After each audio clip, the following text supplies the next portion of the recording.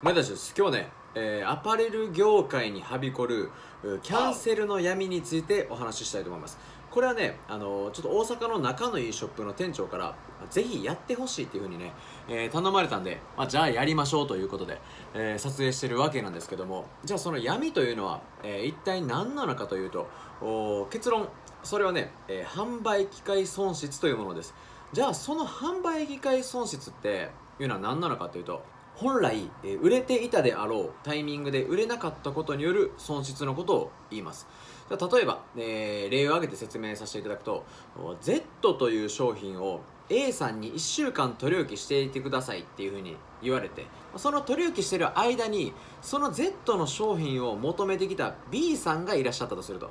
ただその Z の商品は1点しかなくてまあその最後の1点を A さんに取り置きしてることによってえ B さんに販売できないわけなんですよね。だからその B さんに対しては完売してるんですよっていう旨を伝えるわけなんですよ。もう A さんが買うっていうことで取り置きしてるわけやから。じゃあその取り置きした商品が商品 Z が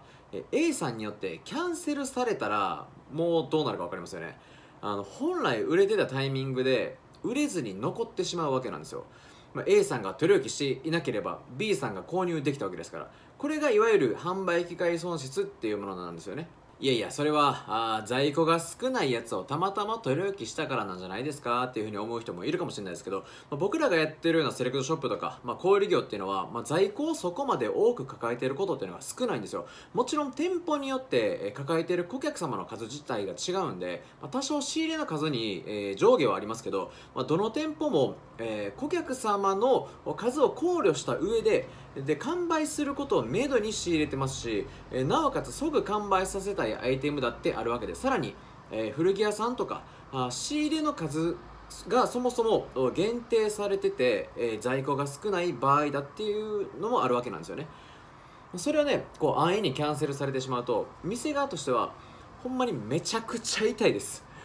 これはあの店頭だけに限らず、まあ、オンラインにも言えることであのオンラインショップも店舗も両方ある営業形態のところの在庫っていうのはオンラインの在庫と店舗の在庫が連動してるケースっていうのがかなり多いんですよね。だからこうオンラインで購入されたものが、えー例えば銀行振込とかあコンビニ支払いやとします。大体支払い期限っていうのは3日から5日間ぐらい設けられてるケースが多いんですけどまこれもねあのある意味取り置きと一緒で結果的に支払われなければ3日間から5日間の販売機会損失を生んでるわけなんですよ。イコール、えーキャンセルっていうのはショップ側からするとかなり痛い。全く軽視できない迷惑行為の一つということなんですよね、まあ、その販売機会損失をしてしまったものがじゃあ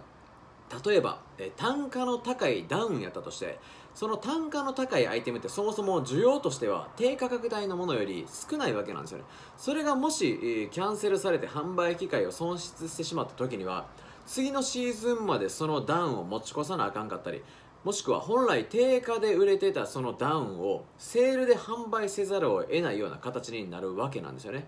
もちろんあのこのキャンセルっていうのがこんなにこうショップにあの痛手を与えているという認識なくやってしまってる方がほとんどだと思うんでキャンセルされる方はね、まあ、あほぼキャンセルされる方としてあんまりいないですけどされる方はそういう認識なくやってしまってる方がほとんどだと思うんで、まあ、ここで一回ね少しの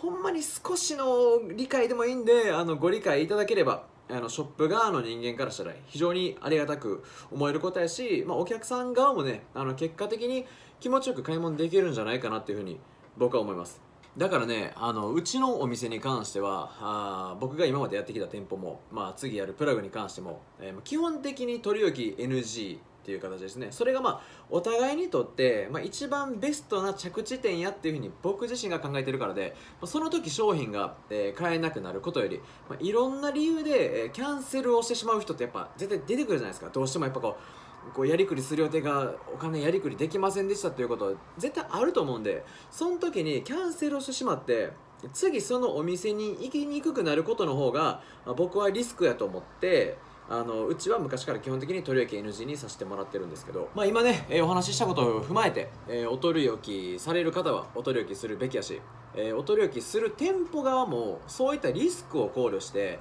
え在庫あるやつは取り置きするけど少ないやつなんかは取り置きしないといったこれ臨機応変な対応っていうのを店舗側がもうどっちかって言ったらねもう意識してねやらなあかんことやと思うんで、えこんなことねあの僕に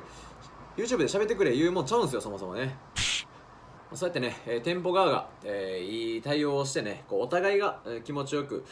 お買い物できる環境づくりをしていければいいんじゃないかなというふうに僕は思うわけなんで、えー今日はねこんな感じで動画の方を締めさせていただきますんで、えーまた次回の動画もチェックしてみてください。ではまた。